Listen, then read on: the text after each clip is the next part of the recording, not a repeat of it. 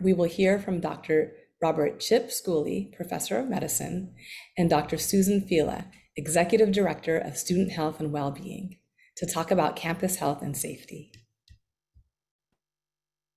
Good afternoon, everybody, and welcome back to the uh, first staff town hall of the new school year. And I thought I would um, just kick things off with a general overview of where things are going with the pandemic here in the U.S., and then uh, turn things over to Dr. Fila to talk a bit about the um, situation on campus. Uh, this is a depiction that many of you have seen before that just shows the waves of uh, COVID activity we've been through over the last couple of years. And as you can see on the right of the slide, we're coming down uh, from a little summer burst of infections with a subvariant of the Omicron uh, strain of um, SARS-CoV-2 called BA5. And things have gotten down to a point in the US that they're about as quiet as they were late in the spring after our really busy um, period of December and January. Next slide.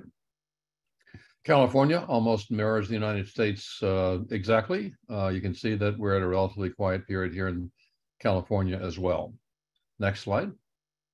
When you look at the national map, uh, this is the new way the CDC has been telling us about their perception of our county risk. It includes a combination of metrics uh, such as number of cases, hospital bed availability, and um, vaccination levels. And what you can see is that over the last couple of weeks, uh, counties that were previously yellow and orange in California have now all, except for a couple of uh, exceptions, turned green. Uh, and indeed, much of the rest of the country uh, is moving in that direction. This has been the trajectory we've been on really since uh, first part of August when the summer wave began to abate. So again, in summary, right now, things look reasonably good at the national level. Next. Here in San Diego, our hospitalization rate has uh, gradually drifted down uh, over the last month. We're down now so that the on an average day, about 190 to 200 people with HIV infection are in the hospital, uh, which is down from almost 500 um, at the summer peak. Uh, again, a trend in the right direction. Next slide. Looking forward, uh, as we often do using the uh, Point Loma wastewater as an indication of how much SARS-CoV uh, RNA is being shed uh, in the uh, community. What you can see is again, just like the case rates in blue, the uh, in, in, blue, the um, RNA levels uh, are declining as well. The RNA rates are in blue as I um, keep perseverating here. And you can see we've come down from a peak in, on the uh, 18 to 20 million copy per day range or copy per liter range to a uh, level in the four to five million copy uh, range over the last couple of weeks, which is a trend in the right direction, suggests that the uh, ongoing um, case trajectory uh, will not uh, change much, at least over the next several weeks. Next. And this is a, another graphic that looks at the same issue. This is a way of calculating how many new cases on average come from each case of COVID. And we can see here for San Diego County, uh, on average, the uh, model suggests that each person infects not quite one new person. So we're in a situation now where the case rate is reasonably stable. Next. The one concern we have is that we're beginning to see a shift in the uh, variants that are circulating uh, in uh, San Diego and indeed in the world. If you look at the pink uh, and the tan at the uh, extreme right of the slide, you can see that the fraction of sequences of virus in the wastewater comprised of the BA4 and BA5 strains that caused the summer uh, burst uh, is currently about 91%. But if you look up in the upper right, you can see a new little um, purple uh, wedge beginning to appear uh, with the um, um designation BF7. This is a new strain of, of, um, of uh, SARS-CoV-2 that has begun to, to, uh, to um, uh, be transmitted in Europe. It now makes up about 25% of the cases uh, in Belgium and about 10% in Germany and France. It is beginning to push BA4 and 5 out of the way in Europe. Next. Uh, this is the CDC uh, depiction of what's going on in the US as a whole. And what you can see here, just at the upper part of the right, now depicted in kind of a light green, BA7 is beginning to push down on the uh, former dominant variants BA4 and BA5. And finally, next. And what you can see here uh, is that, uh, again, looking at the CDC data, starting in the Northeast, uh, the pie chart, you can see the light green pie um, piece of the pie chart, BA7, takes a very small part of New England, and you can see an even smaller part if you look over uh, in California of our region. And this is the pattern we've generally seen as new strains come along. They first are introduced into the Northeast and gradually move west.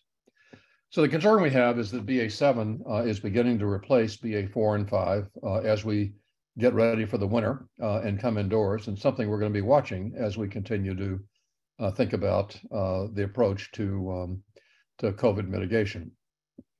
We don't yet have direct data about how the new BA4 and uh, BA4-5 hybrid vaccine protects against BF7, but some indirect evidence that a colleague of mine in New York has generated from people who've recovered from BF, uh, BA4 and 5 suggests that there is a significant amount of cross-reactivity.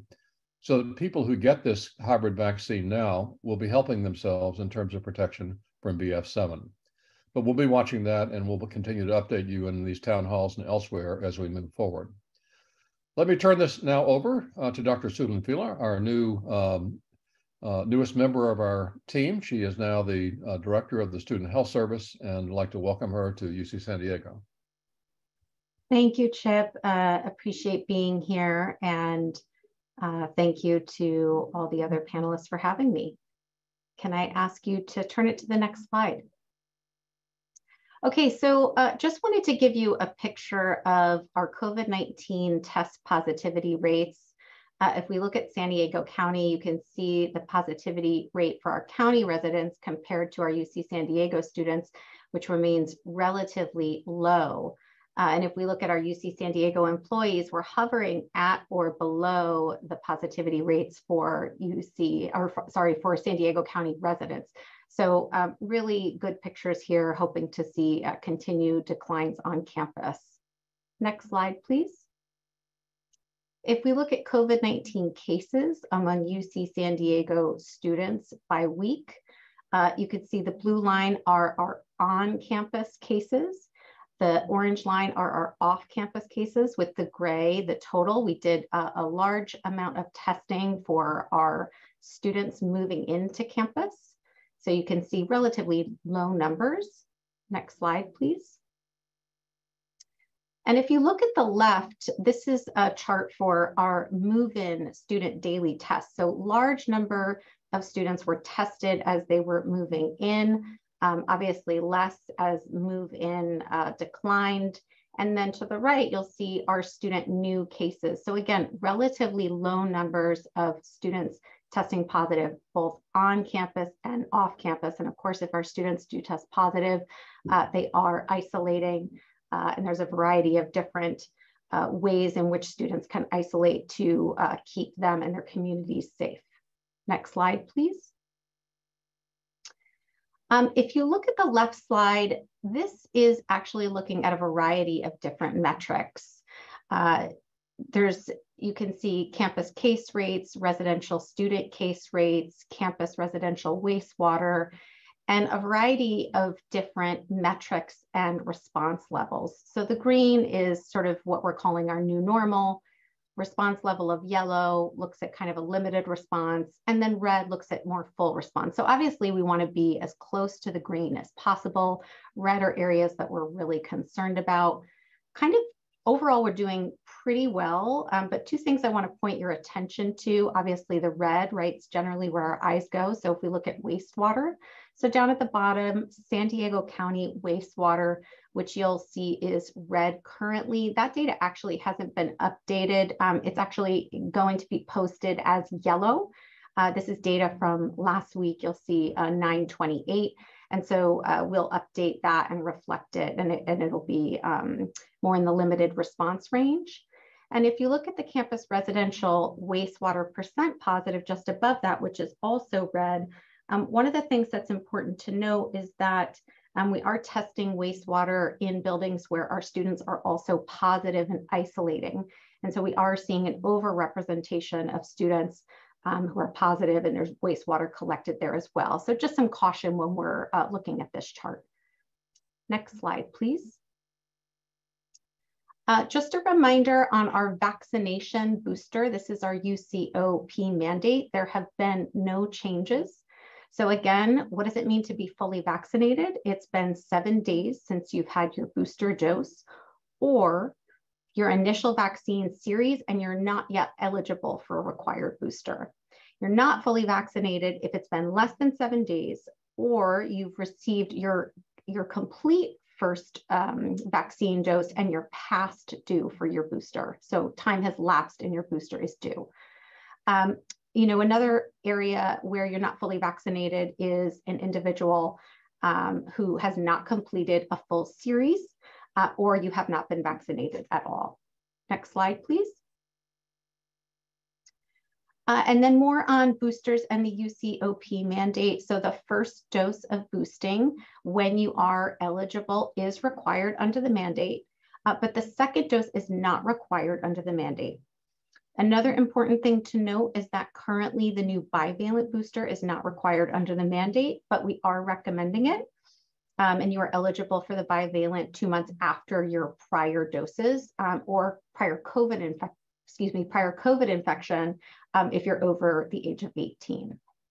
And then after becoming eligible, uh, it's time to boost before uh, you reach that sort of non-compliance period under the mandate, right? So that's pretty important. So for campus employees and students, there's a 30-day grace period to get uh, your uh, booster information in. If you've recently been infected with COVID-19, um, keep in mind if, uh, if we have your positive results, that's incredibly helpful. So that would be an EPIC or COEM, right? So if we're aware, um, then your eligibility date does extend. So there's an additional grace period of 90 days, okay? And then uh, currently approved exemptions do also cover boosters. Uh, and I do want to let you know boosters are available in the rec gym. I actually got my booster last Thursday. It was a very smooth process. Um, it's a it's a, a, easy walk and, and a lovely place to be. There's music playing and you get to meet some of our amazing uh, team members who are giving the booster. Next slide, please. So looking at testing requirements, uh, surveillance testing for our unvaccinated and those who are not up to date is not required. So for individuals who are not vaccinated and they have an exemption, we are no longer doing testing, and this is for students and staff. Um, I also want to let you know that residential undergraduate move-in went really, really well. We had low positivity rates. Uh, and we were testing uh, using a PCR test for undergraduate students upon arrival. Um, just a reminder, and, and I, this is, I'm probably preaching to the choir here, but when should you test? Uh, individuals should test if they have symptoms. This is regardless of vaccination status. Um, if you do have symptoms, always good to mask, mask, mask, very important to slow the spread. Um, if you've had an exposure, right, it's really important if you've had an exposure to test um, initially, uh, you also want to test at day five, again, regardless of vaccination status.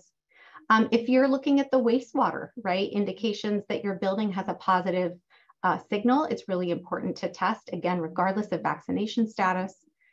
Um, if you've had a recent COVID infection uh, and you also have new symptoms and it's been more than 30 days, it's important to test. Um, and other times it's important to test is uh, recent travel, uh, or you're going to be near uh, vulnerable individuals, obviously large events, things like that.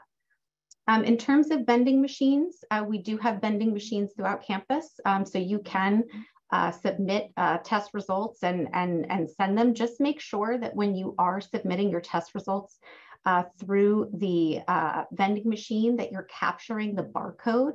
Um, that's incredibly important, and we want to make sure that we uh, capture um, you know everyone who's who's uh, sending in a test. Um, and then also uh, do not use your identity for others to test. Uh, and then just recommendation if you want your results early to drop off before 2 p.m next slide please. Masking requirements. So masking is just really effective in reducing transmission. We all know this Um, we always recommend a KN95 or N95 if you have access. Uh, departments can order these through Oracle. Uh, alternative to KN95 or N95, um, you can always use a surgical mask with a cloth covering, so sort of double masking. And masking is still required in places like classrooms, clinical settings, so uh, student health services, CAPS, Price Center, and campus transportation. And then, you know, I've mentioned this again, masking is recommended, it's encouraged, um, just generally indoors, uh, outside your personal office, uh, and uh, in crowded settings, especially uh, when you'll be around others uh, for a prolonged period of time. Next slide, please. Uh, isolation requirements. So just some CDC guidance around isolation. Um, it's really important if you are testing positive that you isolate for at least five days. We wanna make sure that you have a, a negative test. Uh, if you're symptomatic, uh, remain in isolation. But if you're not symptomatic after day five, you can take a rapid antigen test. And if you test negative, you may end your isolation again, as long as you're symptom free. Um, but your masking should continue until you have two negative rapid antigen tests 48 hours apart. Uh, and this is again after day five. And then of course, um, if you don't take those two negative rapid antigen tests, you wanna make sure that you're masking for um, at least a full 10 days. Uh, and then in terms of employment, a picture of a rapid antigen test result after five days, along with your campus ID uh, is very important for us. Next slide, please. Uh, quarantine, just uh, some reminders on that. The date of exposure is day zero. So that's when you start counting. And you want to mask around others for at least 10 days, monitor for symptoms, and then test um, upon notification that you were exposed, and then day five after exposure. Next slide, please. And then just a reminder that daily symptom screener, so the green thumb is telling us that we are allowed on campus uh, we've had no symptoms or exposures. The yellow is always telling us that we are allowed on campus, but we've been exposed. And so we have to just do take some extra measures, follow safety protocols like masking and eating alone. And then the red is telling us we are not allowed on campus. Either we're symptomatic or we were exposed and unvaccinated or not up to date with our vaccination status. And with that, I will turn it over to Eben. Thank you very much.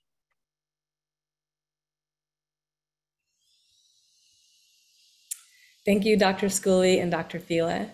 We really appreciate you for your helpful guidance and up-to-date information. Next, we'll hear, a, um, hear HR updates from Terry Winbush, our Chief Human Resources Officer. Thank you, Iman. Next slide. So uh, I want to give you again some reminders uh, related to COVID-19 and just in general, uh, if you're not feeling well, because I think um, it always bears reminding um, you all. Please do not ignore symptoms and come to work sick. Um, leaves are available. Um, the emergency paid sick leave, I'll get to in just a minute, um, was extended through the December of this year. There's still Cal OSHA leave at least through December of this year. If you have sick leave accruals, you can use those, but do not come to work sick. And I don't mean sort of our assessment of coming to work sick pre COVID, uh, where you came to work even if you had the sniffles, you came to work even if you had a sore throat, you came to work when you were feeling run down and completely under the weather. I, I don't mean that assessment. I mean the assessment that we've managed ourselves through this pandemic um, so well with, which is if you are having symptoms that could infect someone else, even if you do think it's just the common cold, stay away from the work site and also wear a mask around um, people. If you are all out of leave options, please work with your local HR partner and contact uh, campus HR um, if necessary, and we can provide some support.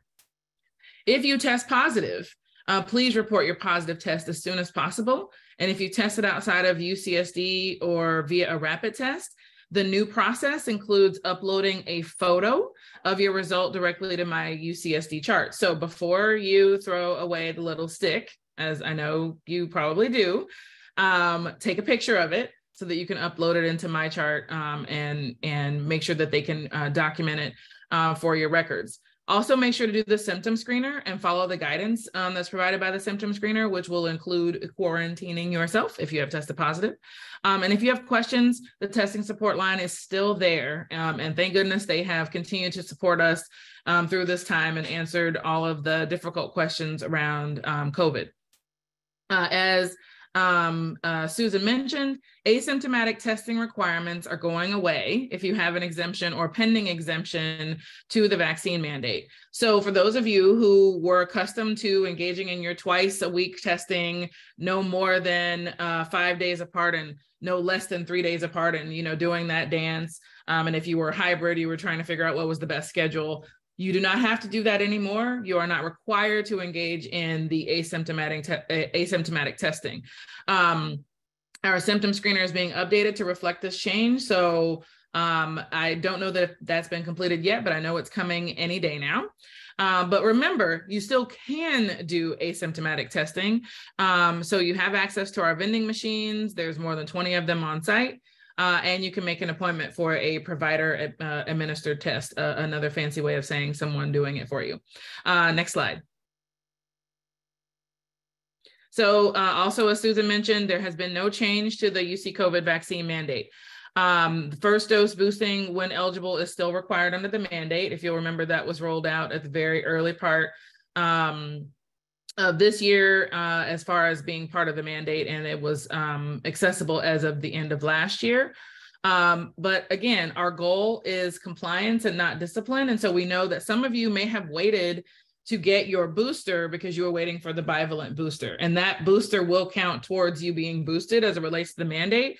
But if you've already had your first booster, the mandate does not take into account a second booster as a mandated requirement yet. So if that changes, we will let you know. But as of right now, um, we are at status quo on that. But don't forget, you do have access to the bivalent booster.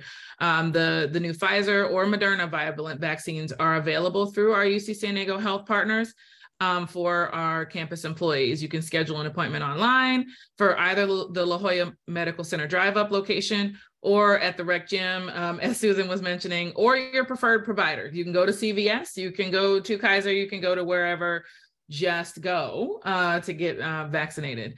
Um, and you can also get your seasonal uh, influenza vaccine at the same time uh, if you go to actually a number of the providers in the community are allowing you to schedule both at the same time as well. So the key is to get yourself protected. Um, many people have asked and so i'm here to tell you the flu vaccine will be a requirement again this year. So more details will be coming soon. We're trying to make it um, a very simple access and engagement process um, like it was last year, where you kind of just went on to um, uh, ServiceNow and you selected that you had gotten your flu vaccine on whatever date, or that you were not going to get your flu vaccine, but you had the information in front of you to make an informed decision. Um, we're looking to do something very similar, sim- similar to that, um, but maybe even simpler. So we're working on it, and we'll uh, keep you posted. Next slide. So as I mentioned earlier, the emergency paid sick leave was extended. We just found this out on either Thursday or Friday of last week. Um, so the emergency paid sick leave was extended to December 31st of this year. But keep in mind, there was not a new allotment of hours. So the original 80 hours that was extended or the prorated amount if you work less than 100% time, um, that's still the same amount that's been allotted. But if you haven't used all of your allotment, and something comes up where you would be eligible to use the time, you now have through December 31st to use that time. So uh, that is um, warm off the presses at this point because you know we're a few days after it now. Um, I also wanted to say uh, a lot of the thank yous that I put on the slide um, related to the staff at work survey efforts. Um, thank you, thank you, thank you. I, I, really, really, really mean it. And I'm really excited to see um, the feedback that you provided, whether positive, negative, or uh, ambivalent. I, I really just want to know um, how all of you are out there doing um, in your departments, in your units, et cetera. Um, I really appreciate the participation. Our percentage this year was up four percentage points over last year. So I will take it and I'm going to go for even higher numbers next year. So I'm hoping that you'll be um, on that journey with us. So the next steps, as we mentioned on the last town hall, for um, the staff at work survey information and as part of our yellow brick road approach, if you will. Um, so our hard working partners in OSI, uh, the Triton Analytics team will be reviewing the data, giving us a um, an assessment of our strengths and opportunities. And then we're going to be coming back out to you um, through an Idea Wave campaign so we can learn from you what actions you believe would be um, beneficial to capitalize on our strengths and address our opportunities um, to make your employment experience uh, that much better. So stay tuned, uh, hang in there, and um, thank you again for those of you who took the time to do it because I know it's an additional thing to do, but that feedback is so critically important. Um, one thing I'll also note, because I know this um, question always comes up as well, and I mentioned it last town hall, is what happens with those verbatims. Like if I make notes like, I really love my boss, he's super great. I wish that everybody had a boss like him. Um, where does that go? Well, to some degree, um, if it is something that can be identifiable, et cetera, the verbatims all come to my office and particularly they come to me and if um, one of our senior leaders is requesting access to the themes or thematic information around those verbatims we actually pull them within my um, hr team to sanitize that information so that it can't be attributed to one person but more the concepts for that group so people can understand where um, there are opportunities um, or, or, or abilities to capitalize on things that are, are, are really great. If you do mention someone by name in a positive way, that's where that staff at work survey most mentions comes in. And we'll be celebrating those folks um, in the coming months so that you know who was most mentioned in a positive way. Next slide. So as a reminder, mark your calendars. Open enrollment is coming. Uh, open enrollment will begin on Thursday, October 27th, and it will be open for open enrollment uh, through Friday, November 18th.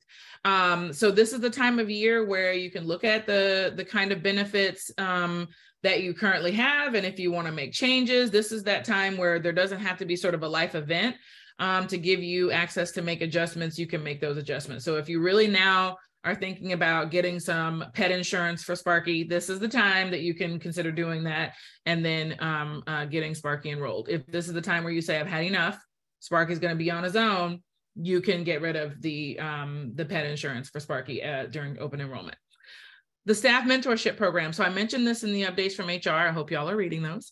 Um, but if you are interested in serving as a mentor, and please, please be interested. People, people need your knowledge. People need your your advice, your guidance, your strength, your ability to navigate the complex system known as the UC. Um, please apply online by visiting mentorship.ucsd.edu. Um, the mentor applications are always open because um, we can never get enough people to help those folks who are um, open and honest enough to request a mentee because we all need support. It's just there's only like the the so many people who actually go out and ask for it. Um, and then another reminder about the public service loan forgiveness program for student loans. Um, last month, uh, or actually now, I guess it's August, um, UC sent out information and hosted a webinar about the PSLF. That's easier for me to say than the whole phrase again. And the time limited waiver that um, uh, expands access to the loan forgiveness for many borrowers. And that goes through October 31st of this year. So if you have student loans and in the past, your loans didn't qualify or your payment amounts didn't qualify or maybe your former employer didn't qualify, take a look at it again because what you don't want to do is miss out on an opportunity to have thousands and thousands of dollars in student loan debt forgiven. It can make a huge difference in your life. So just take a look at um, uh, that webpage that um, uh, Amy posted in the chat. Thank you, Amy. Um, and see if you qualify so that you can try and have some of your loans forgiven because um, it, like I said, it can make a huge difference in your life. Next slide. So some of you may have seen the announcement that our Star Award program for 2022 to 2023 was approved. The Star Awards, as many of you know, um, is a tool to recognize exceptional contributions among policy covered and our clerical unit CX represented staff employees. Um, more information can be found employee incentive award program page, but this is a good time of year where you know you go through and you take a look and, and many departments do this throughout the, the entire fiscal year so it doesn't have to happen this week and you know don't make judgments if it doesn't um, for for those areas across the campus. But for the for the folks who really have been doing exceptional work or some teams that have been doing phenomenal work this is an opportunity to provide an additional um, incentive award to them um, to to say thank you. Uh, because you know the words thank you they are very valuable and important and you should say them. Uh, but also sometimes if you can reward people a little bit in their checkbook it goes a long way even if it's just enough to buy a couple of Starbucks coffees. Um, that's just for me. Um, and then Grace uh, you know I have talked to a few people over the last um, month and a half or so since our last town hall and um, some people have shared that while they are hearing the, the, the phrase grace being used and giving grace, and um, some people are actually checking in on their employees, are they really checking in or is it performative? Are they doing it to just say, I checked in on the person, but then they don't actually internalize the information that's being shared with them so that it can actually benefit the experience that they're having with their employee. And so I wanted to take some time to say to you all, like, please truly check in and honor the sharing that people um, engage with um, with you in.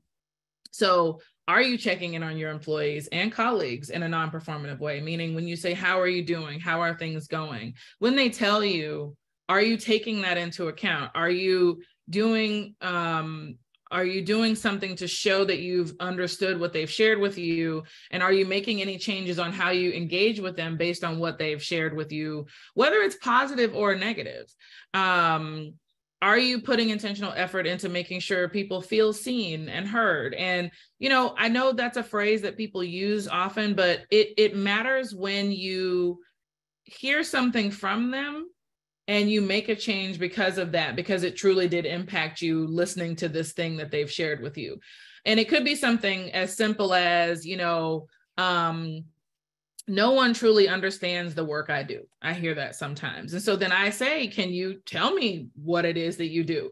And then I've I've been on, I've been known to say on occasion, "Well, the reason why people don't know what you do is because what you do is so nuanced and specific and creative they probably don't know how to describe it. So how would you describe what you do to those who, you know, aren't as special?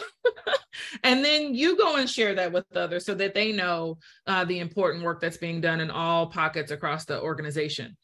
Um, when someone shares something important to you, do you take that into account as you engage with them going forward? And then just one one suggestion, and I, it came up as we were doing our own planning for um, a collaboration event for for our HR staff. Make sure you're, that you're providing space for team building that supports both your introverts and extroverts. Very often, people plan together events, and it's very much like being around, being around people, being around people. And for introverts, that can be utterly and completely exhausting exhausting. And then it takes away from even coming together all together. So make space where smaller groups can come together. When we even talked about um, having a, a meditation space or a space where people can go and have like just quiet time for 15 minutes, just enough to sort of recharge.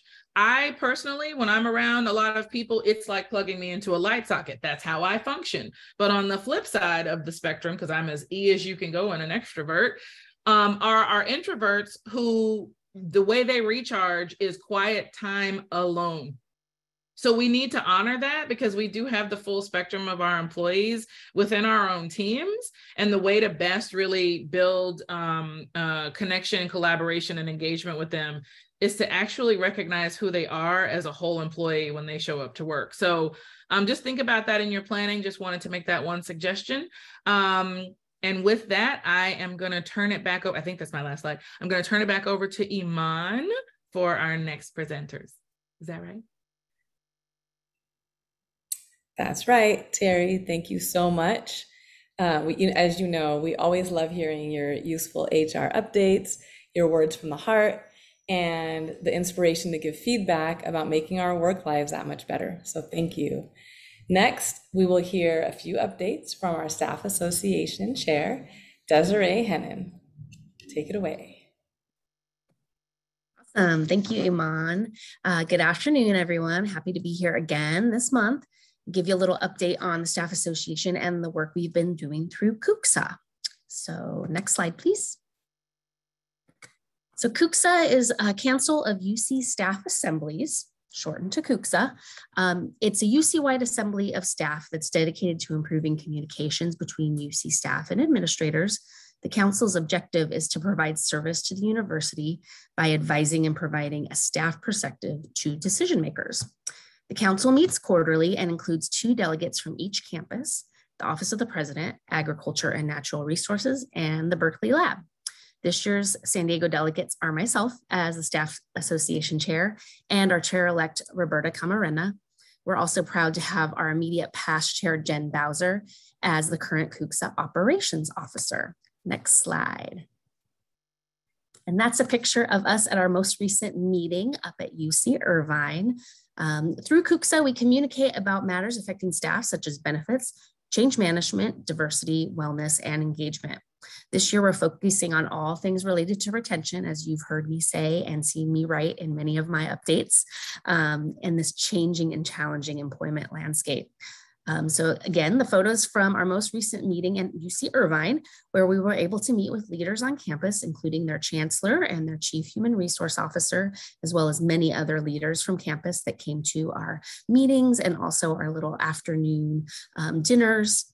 Uh, it was an exciting time to be able to meet with colleagues at other locations and to work on advocacy for staff as a system-wide team. Next slide, please. CUCSA leadership is focusing on engaging a greater staff population. That's one of the big focuses for this year um, through connection and training events. CUCSA town halls will continue to be held, and hopefully some of you have logged on to those. They're very interesting. Um, they're held the week after we have our quarterly meetings. So the last one was um, the second week of September. Uh, they're held via Zoom and they are recorded, so you can always go back and watch them. Uh, it includes updates on current initiatives and also updates from our working groups and the progress we're making within those groups. We also introduced this year the CUCSA Chats. This year, um, it's a way to connect staff and share best practices. The CUCSA Chats, which you see on the screen there, and the next one's October 27th. They're really focused on different ways that you can use um, your time when you're giving back to different organizations and or just your time in your regular position at the UC um, to benefit your growth. So the next one is Level Up, how to leverage your campus service for professional development. Um, and we have a link in the chat that Amy has added um, that has all the information about upcoming CUCSA chats, as well as information regarding the work that CUCSA is doing around retention this year. And then, as always, watch for our monthly Staff Association email messages for more information on the next town hall, which will be in December, the second week of December, after we have our quarterly meeting, and for more information on future CUCSA chats. And now I'll pass it back to Iman to uh, focus on our shines and shout outs as we do every month. Take it away, Iman. Thank you, Desiree. So many amazing professional development opportunities. Appreciate that. All right, next slide, please. Okay, so um, I would like to take a moment to actually spotlight and thank Sarah Andrade. Um, Sarah was the one who you'd see on the town halls, actually doing the shine and shout outs, um, but Sarah has um, moved on to a new position outside of UC San Diego. Uh, we're excited for her, but sad to lose her at UC San Diego. Um, but Sarah has been on our staff association Marcom committee for the past two years. And um, we really wanted to just give her a major shout out. And um, if you want to read about all of the amazing things that she's done, um, go ahead and um, log into your Instagram and read about her and read about more shines and shout outs. You all have been doing an amazing job, by the way, submitting them. We have tons of them coming in and we love it and we want more. So please um, check it out. Um, next slide, please. Um, there is the follow us on Instagram. I know all of you are already following us on Instagram, but just in case you're not, there's the QR code. Um, and then you can also go to our website to submit a shine and shout out. And that actually brings us to Oh, and there's a link, sorry, there's a link to the shines and shout outs in the chat. Um, but that brings us now to our Q&A time. Um, at this time, I'd like to invite all of our panelists to turn their videos on. And again, as you remember, during the town hall registration, staff had an opportunity to submit questions to the panelists. And we selected some of the most popular questions for the panel today. If you still have a question now, please use the Q&A window to submit additional questions during the session, and we hope to have time to address them all. All right, I need to look at our questions. Okay, actually. So the first question is for Dr. Schooley. Can you clarify the optimal timing of the bivalent booster? I probably pronounced that wrong, sorry, after having COVID or a previous vaccine dose. So what's that optimal timing like? We generally recommend two to three months after you've had your most recent exposure to the vaccine to the virus, either through a vaccination or through infection. This isn't because it's dangerous to get vaccinated earlier. It's just because um, during that period of time, your uh, immune system is continuing to process the um, viral antigen from the exposure that you had and mature so that when you do get boosted, you get a much bigger antibody and cellular immune response. So it's a way of having that vaccine count the most uh, by waiting that length of time. In that period of time as well, because you've recently uh, been infected or vaccinated, you're uh, relatively unlikely to have a breakthrough infection. So you're protected from having a new infection from your most recent experience. After that, uh, we don't think you get that much more immune maturation, and then you begin to be at increasing risk for having another breakthrough infection. So that's why we kind of recommend that two to three month sweep period. Spot. Perfect. Thank you so much. Next question is for Pierre. With housing costs and inflation being such an issue, what is the university doing to retain and hire staff? Uh, it's a big question that I'll try to answer it as as uh, uh, succinctly as I can. But uh, I think there are two elements uh, to the answer. One is, of course, we are. Uh, I was answering some questions online where um, trying to stay on top of compensation. As you know, COLAs, which are the cost of living adjustments, um, which are in the kind of four to five percent range right now. Um, or decided at the system level. Uh, Drake uh, makes a recommendation to the Regents. Um, so uh, we have increased the uh, uh, the cost of living cost of living adjustments from the historical three percent to something uh, closer to four and a half five for different um, type of employees. Um, we uh, also uh, look at um, equities on top of that at the campus level in areas where we feel that, that we're lagging. And of course, there is a lot of work around uh, employee retention and, um, and uh, talent acquisition as well.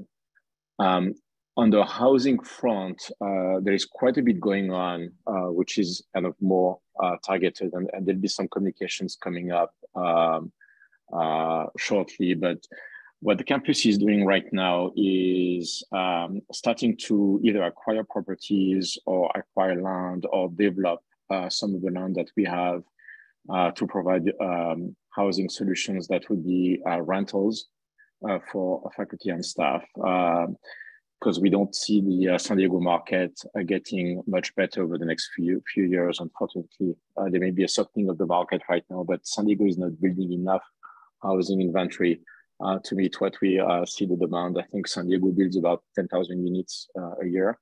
And uh, the city should probably build twice as much given the population growth. So it's a huge concern for us.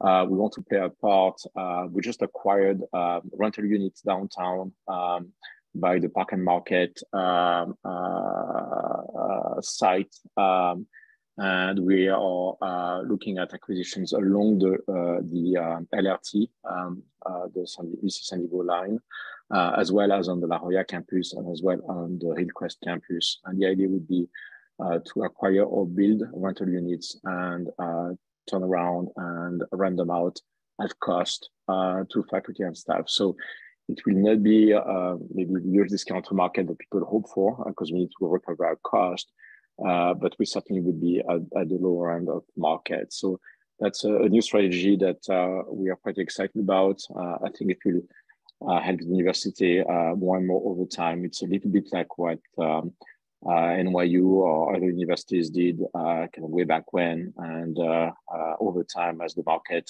grew and appreciated uh, they became more they became more and more attractive to faculty and staff. So we're starting to be in that game, um, and uh, kind of more to come on that front as well. So short answer to the question, uh, trying to remain as competitive as we can on salaries. It's not easy. I appreciate that, um, and uh, really creating a portfolio of options uh, for um, uh, rents. again, won't meet the needs of everyone, but for some of our faculty and staff, it may be a welcome option um, and more to come on that. Thank you so much. The next question is for Dr. Schooley and Dr. Fila. Quote, I'm tired of driving. How safe is taking public transportation now?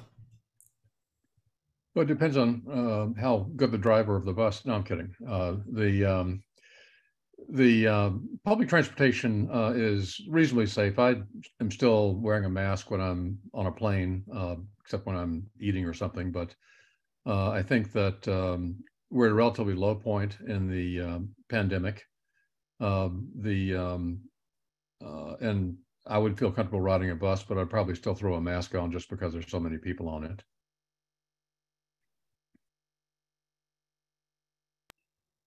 Good advice. All right, next question is for you, Terry. We, we received a number of questions about whether flu shots are going to be required this year. And we heard in presentations that they would be. Can you tell us about the timing and process? Yes. So um, as I shared in the presentation, we're working on making the process even simpler than it was last year. And we're working with our um, health partners to try and have a streamlined approach. So there's sort of one place where all of the information is stored. And maybe it'll all just be through my chart and you won't have to figure out a new system to work through. But we're working on it. Um, so uh, you know i'll just i'll just note for the record i'm not an it expert i rely on those who are and they're amazing partners um, but they're they're working on it as far as timing um, i expect within the next couple weeks you'll hear some information um, because we have the sort of draft joint um, vaccine policy that are um, that is being circulated uh, for commentary and things right now. So there's the the COVID vaccine mandate, and then there's the sort of flu vaccine opt out, and there's like the two dimensions of the different types of um, approaches. And so what we're trying to do is reconcile the best way to streamline all of that information because it was a big um, work effort for a number of folks, and there are a number of things going on, and we want to maximize the use of um, our folks' time and your um, your efforts uh, as the employee engaging in these processes. So stay tuned. We're going to try and make it simple. If it is not, though, don't hold it against me because I will be going through it just as much as you. Good point. All right. Next question is for Dr. Fila. Will we be able to get vaccinated for monkeypox at UC San Diego as UC San Diego students, staff, and faculty, like we did for COVID? Yes, that's a good question. Um, uh, and being new, I, I, did pose this question to Dr. San Miguel, um, who's here, so I want to give credit. Um, staff can get their uh, staff who get their health care at UC San Diego Health are able to get their uh, Mpox vaccine at UC San Diego. Um, staff who are followed uh, elsewhere should go through their primary care providers uh, to get their health care. And we are working to get the Mpox vaccine here on campus. So stay tuned. We'll send out communication uh, so that students will be able to come and there'll be plenty of outreach uh, to make sure that students have access to the vaccine on campus. Great, that's wonderful news.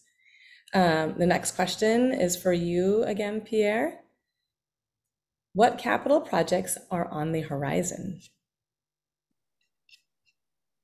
Uh, quite a bit. Uh, I'll start with what's not on the horizon is to build more office space with hybrid. Uh, this is really where we're trying to be more effective with what we have today and uh, saving money and not renting a space of campus anymore. Um, what we're building though is, um, I would say, uh, four types of uh, projects. Uh, um, two are very focused on students. So the biggest expansion right now, as you see the cranes on the campus, is student housing. Um, it's uh, we invest a lot. We recover the cost over time uh, through the uh, the rents paid by the students, but there is a very significant push. So um, you can see the cranes on the theater district, living and learning um, by the La Jolla Playhouse, 2,000 beds coming uh, in um, uh, next year, actually, phase delivery. Pepper Canyon West by the train station amphitheater uh, the year after, 1,400 beds. And we're working on the redevelopment of Marshall Lowers uh, by the Geisel Library, uh, which will be a very exciting development as well, another 2,000 beds. Um, and there'll be more after that. We, uh, we, need, we need to be able to offer a four-year guarantee to our students. So um, that's the probably the, the largest uh, investment right now. Uh, two uh, student resources. Some of you may know that we're seeking approval for the Triton Pavilion, which will be a redevelopment and welcome center at the heart of the campus with a lot of student resources. We have added so many students right now, they need uh, more space for their support, health and wellness, transfer students, teaching and learning commons, and so forth. Um, the uh, other investments, uh, uh, the big need right now is wet labs for the research enterprise. So there is a project going on uh, on the medical side um, uh, with ophthalmology called the Viterbi Vision Center. Uh, that's on East Campus, but there will be a lot of wet labs there. Um, and we just got the green light from the chancellor to work on a, a multidisciplinary uh, research building for the campus that will be in school of medicine uh, precinct, uh, but open to um, any PI on campus. So I think biology will be a stakeholder as well. that's important there. And last but not least, even though that may be less relevant for a lot of folks on the call, a lot of clinical uh, expansion, uh, and that's covered by the health uh, system. So a lot going on there. Hillcrest renewal, for those of you uh, us uh, living close to Hillcrest, um, outpatient and parking being built in the first phase. Um, and then a lot of clinical expansion across the San Diego County. Uh, there is a medical office building being built in Rancho Bernardo. And the idea is to uh, really continue to improve access uh, to uh, patients to our faculty and staff that are, are, served by UC San Diego Health. So these are the, the four key area, uh, areas of expansion, student resources, student housing, uh, wet labs, and uh, clinical. Thank you. It's amazing to see the, the towers going up at 8th, 8th College coming soon. Um, next question is for you again, Terry. I think you're going to like this one. How do we ensure people don't come in sick to on site work? I'm high risk and concerned, especially with COVID leaves coming to an end soon. Well, I think when that question was submitted, the person probably didn't know that the COVID leaves are being extended through December 31st. So that's that's part number one. But part number two is you know, we're all adults and we have to manage ourselves um, in accordance with sort of our human responsibilities to take care of ourselves, but not to put our colleagues and coworkers and things like that at risk. Um, if you are unwell, you shouldn't come to work. I mean, that's just the bottom line. Um, some people ask the question, well, how sick is too sick? Well that's to some degree a judgment call. Uh, and it also might depend on what your definition of sick is because that's a broad spectrum. If you um, if you have an injury but an injury that doesn't prevent you from doing the the fundamental um, parts of your job that's still considered sort of sick in your health but you still can come to work and do your job. If you have seasonal allergies and you know you have seasonal allergies and you've tested negative and you follow the advice of the testing support line you can come on site and you should wear a mask though just in case you are on day two before you would test positive on that day three this is why we still strongly encourage masking right um don't eat in enclosed spaces with other folks if you aren't necessarily sure. But it's a judgment call. I can't give you a checklist on exactly what to do. But what I can say is if you wear your mask and are taking the proper precautions, things should work out like they're supposed to work out. But you know, we do all have a, a, a responsibility to our fellow humans to to take care. Um, and people have to remember that's sort of a fundamental, sort of outside the workplace type of responsibility that just should also bleed into the workplace. Well, your answer was an excellent segue to the next question, so keep your mic on. um, right. What will masking requirements and recommendations on campus be for the rest of the year? What about booster mandates? Uh, so the crystal ball question, like it. Uh-huh, uh-huh, I like it a lot. Um, so in my crystal ball, uh, my crystal ball says uh, you will have to wait for further information um, because we are following the science. I mean, I you know I thank God that we have partners like Chip Schooley and now Susan has joined us, and we um, have Stacy, and we've you know we've had Dr. Sosha, and you know all of the partners that we've we've had the what I like to call access to. Um, I know you know they very much feel it's part of their jobs, but I feel very much like I have access to them. And, and I know my mom feels very much that same way about Chip uh, in particular. Um, Um, but the key is is is they're following the science. They're looking at updated information on a daily sometimes minute and then weekly basis to make recommendations to leadership on what needs to happen across the campus we've been really lucky. Things are starting to look amazing. Um, even um, as Susan was saying, looking at the most updated wastewater numbers, that would be at the yellow, even though it was presenting as red before. That's wonderful. And because we have been taking the necessary steps, we are able to reap the benefits of those necessary steps and have certain things relaxed. But don't fret if things start to go dark. We will make the necessary adjustments because what we don't want is to impact each other, but also the the county and areas around us because we aren't taking the necessary steps. So uh, I don't know is the short answer to that um, very short question uh, and after my very much longer answer but um, but we will keep you posted as necessary on any changes that need to occur. Okay keep keep your mic on. All right. More for terry. What is what is being done to address pay equity between vc areas that's a great question. So, number one, there's a lot of coordination that happens between the the VC areas um, uh, with our partners um, in health sciences and health systems. There's a lot of coordination. We have regular meetings. We do have a central office that um, uh, helps to guide and advise related to um, compensation ranges, current market pay, things of that nature so there's a lot of a lot of things being done around that. There's a lot of um, education being provided to, to think differently about our pr- approach to compensation and there'll be more to come over the next several months around sort of our compensation philosophy for the campus. But the key for us and i think um, you know i i love it most when i hear pierre say it we want to pay our folks correctly um, because they're the they're the backbone of the great work that we do at UC San Diego, right? And so we're we're very much um, sort of espousing that that that ideal. Now, I say all that to say, I hear and a, a number of my partners hear about how someone poached you know that poach phrase poach someone from one vc to the other or one supervisor to the other or whatever the case may be and often the easy response by the employee is, oh, um, I got higher pay.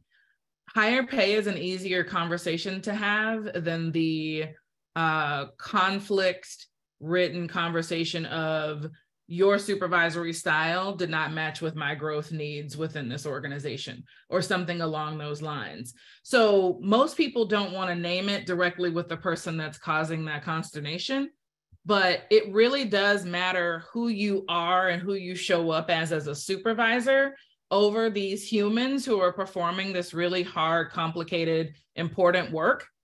If they don't feel supported if they don't feel guided if they don't feel that that supervisor is removing obstacles for them and caring about them as a whole person that enables them to go looking when they might not have otherwise went looking so that is something that people need to keep in mind is there a reflection on me as a supervisor that my person's leaving not just can I throw more dollars at it? Because you can throw more dollars at it. People do need to pay their mortgages. Those are real things.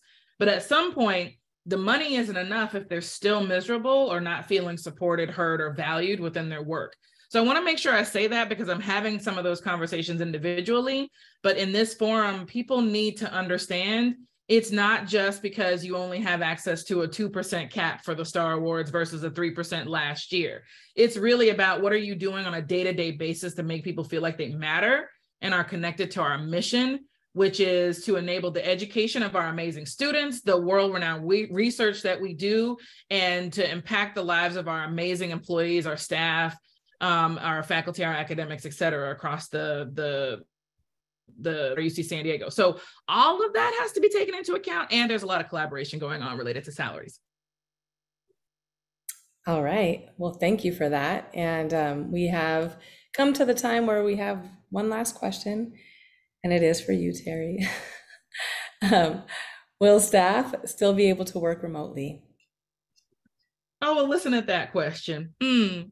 Um, so maybe. Uh, so the folks who are currently working remotely successfully and their supervisors and leaders support it i don't know that there's a change on the horizon for for um, uh, the negative in that um, perspective for those folks who are currently not working remotely and who are looking for opportunities to do so i think people need to understand that there's a lot of work kind of going on behind the scenes to help people think about our current world of work right? Like once upon a time, we talked about reimagining the workplace or the future of work and all of that. Well, it's here now, today. So the question is, is what's the best way to get our operational needs met while taking into account we have these whole humans who perform the work for us and how can we structure our work hours um, work schedules the way that we provide services et cetera to take that into account for everybody who we serve but also who's doing the surveying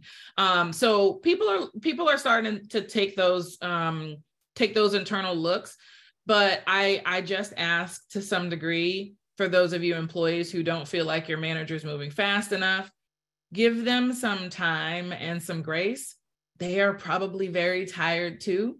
There are a lot of us who have taken on a lot of extra things um, the last couple years, and as we start to shed it because we finally can fill vacancies or whatever the case may be, that does not immediately infuse you with energy. It immediately gives you an opportunity to finally go take that nap. Um, so then the next step after the nap is the to then plan differently and look differently and maybe reach out and seek some help from partners across the organization our partners in osi help people with org design HR has an org effectiveness domain that helps with org design. Your HR partner within your personal unit can help you with thinking about how you structure work. There's a lot of work to be done, and there's a finite number of people. So give space and time and talk about it and be open to hear feedback around it. That's the the the biggest thing. But it is the world of now. How do we function in the world of now in a way that's going to retain our top talent right? And make them understand that we value them completely. Um, and also attract in those places where we have vacancies, also attract top talent. And some of that will be locally, some of it will be up and down the shores of California, and some of it might be out of state. Um, and having an open mind to that when it makes sense for the work that needs to be performed. So, okay, thank you for enabling my soapbox today, Iman. I didn't know those were the questions, but um, Me do provide all of those answers. Thank you very much. of course, of course. And you're speaking my language retaining and attracting top talent. That's that's the business that I do. So yes, on all of that. Um, and we have come to the end of our time together today. Um, I wanted to thank everyone for being here. I actually lost my screen, sorry. Um, thank you all for your questions. Um, and I just wanted to remind you that the recording, the final recording, will be posted on the staff town hall page on Blink. So, in case you missed part of it, or for folks who had to leave a little early, um, and the link to that page is in the chat. Please stay tuned for news on the next staff town hall meeting. Um, we will be scheduled, we are scheduled for December 7th at 10:30 to 11:45. And again, you can register from that staff town hall page. And finally, I'd like to thank our presenters and guests for sharing their time and valuable information with us today.